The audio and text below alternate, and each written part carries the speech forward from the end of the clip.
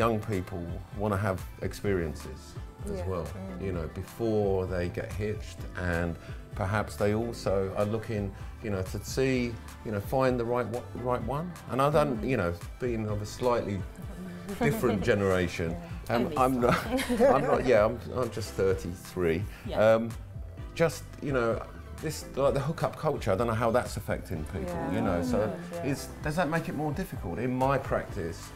Um, not not just in my own, but in the practice that I work at. We see a lot of young people that are struggling to find partners. When you said that it's evolving, it's also evolving in terms of how we're dating. Yes. When I was younger, when everybody was younger, that was only without two years ago. Only two years ago. Um, you know, you had the chance to kind of go out on dates, you could Uh-huh. socialize a bit more, people were around, but now you've got phones, you've got people thinking it's okay to just text you as opposed to call you. Right. And you know, you have people who have relationships via text.